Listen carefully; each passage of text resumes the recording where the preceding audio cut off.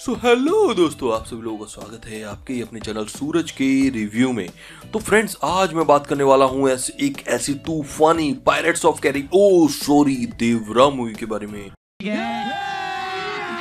अभी मज़ा आएगा ना भिड़ो। भाई लेकिन इसमें बात करने से पहले मैं ये सोच रहा हूँ कि मैं बात कैसे करूँ क्योंकि समझाया उस चीज़ को जाता है जो खुद अपन समझ पाते हैं।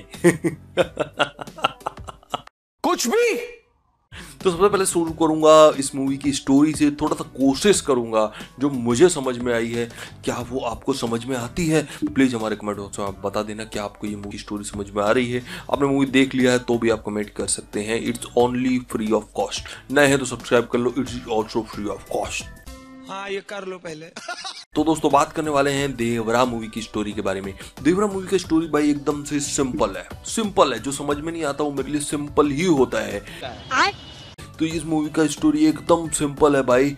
एक हीरो है, एक हीरोइन है, एक विलन है, मारधाड़ है और लास्ट में जाके सस्पेंस है। ये सही, मैंने बहुत सारे मूवीज़ में देखा भी है। इस मूवी में वो सेम है मतलब कि ये मूवी क्या कॉपी हो गया? यस दिस इज़ कॉपी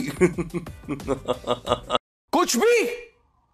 तो भाई जॉक्स अपार्ट इस मूवी के बारे में बात करेंगे। इस मूवी की स्टोरी में आपको दिखाया जाता है कि कुछ एक ऐसे गाँव के कबीले हैं जो आज़ादी से पहले सरकार के साथ मिलके, जो फ्रीडम की फाइट लड़ा करते थे अंग्रेज़ों से पहले भी, अंग्रेज़ों के आते टाइम भी, अंग्रेज़ों के बाद भी, अभी मतलब उनके पास कोई काम धंधा नहीं है। जैसा कि देश के काफ़ी सारे इंजीनियर्स के पास भी नहीं है। इस सज्जन को क्या तकलीफ़ है भाई? क्या तकलीफ़ है इनको? सरकार को ये पॉइंट सोचने जो मज़ाक मज़ाक में थोड़ी सीरियस बात मैंने यहाँ पे आपको बोल दी है। तो इसलिए भाई यहाँ पर ये लोग सोचते हैं कि चलिए ना कुछ काम करते हैं और ये अब ये अब उन समुद्री जहाज़ों को जो उनके तट से गुजरते हैं, उनको लूटना शुरू कर लेते हैं। अब ये लूटते लूटते भाई, इनमें से कबीले का जो सरदार होता है, अपने भाई देवरा उनके मन में हृदय परिवर्तन जागृत हो जाता है, हृदय परिवर्तन। और उसके बाद में वो सोच लेते हैं कि ये काम ना तो मैं करूँगा, ना किसी को करने दूँगा। गाँव के लोग काफ़ी घबरा जाते हैं, और उसके बाद में ये सारा काम वो लोग छोड़ देते हैं। इसके बाद में ये भाई अचानक से गायब हो जाते हैं, ये कह के कि जब जब मुझे ज़रूरत होगी, मेरी सॉरी मेरी ज़रूरत होगी, मैं वहाँ पर उपस्थित रहूँगा। और उसके बाद में इस काम को टेक ओवर करते हैं उनके लड़के, जो उनकी है same to same carbon copy अभी इसके बाद में मूवी आपको देखना पड़ेगा कि मूवी में आगे क्या क्या होता है क्या क्या चीज़ें होती हैं। भाई मूवी का स्टोरी आप ऐसा मत सोचना, मैंने बताया था उतना ही था नो ऑल्सो अ सस्पेंस कोई स्पॉइलर नहीं जस्ट अ सस्पेंस अब बात करते हैं मूवी में आगे की स्टोरी की। तो भाई मूवी को आगे जैसे जैसे बढ़ती है, हम देखते हैं कि मूवी खत्म हो गई है।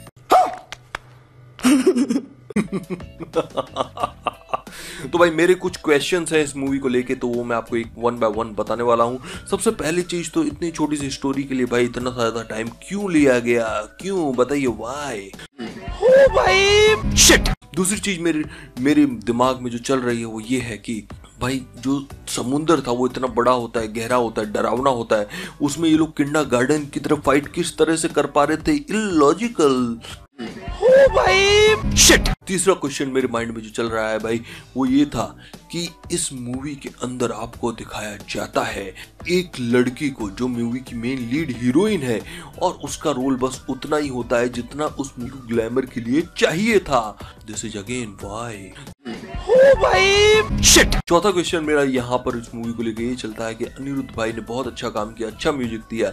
लेकिन ये म्यूज़िक इस मूवी में 90s के टाइम की मूवी का जो स्क्रीन प्ले है जो शॉट्स हैं सीन्स हैं उसमें भाई इतने एडवांस और 2024 का म्यूज़िक कैसे ला रहे हो भाई? कैसे? बताइए वाई ओ भाई। शिट कुछ इस तरह के क्वेश्चंस के साथ मैं भाई थिएटर से बाहर निकला और अभी तक मैं इस मिस्ट्री को सॉल्व करने की कोशिश कर रहा हूँ, इस रहस्य को जानने की कोशिश कर रहा हूँ कि इतनी रहस्यमयी मूवी मैंने कैसे देख ली। अब इस गुत्थी को सुलझाने के लिए मुझे काफ़ी समय लगने वाला है और वो समय लगने के बाद में जब मैं इस गुत्थी को सुलझा लूँगा, मैं आपके सामने आऊँगा, फिर से बताने के इस मूवी के अंदर चुलमी था क्या।